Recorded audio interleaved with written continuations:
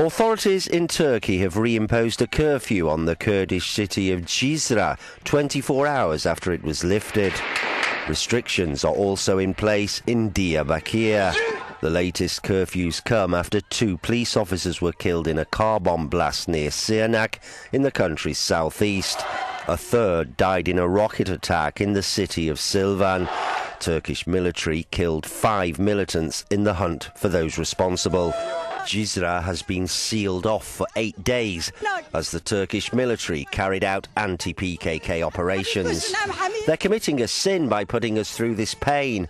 What's President Erdogan doing to us? His tanks and shells kill us all. This is not humanity.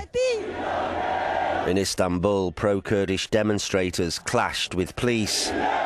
Violence between the PKK and authorities has surged since July, and many fear there's more to come ahead of elections set for November.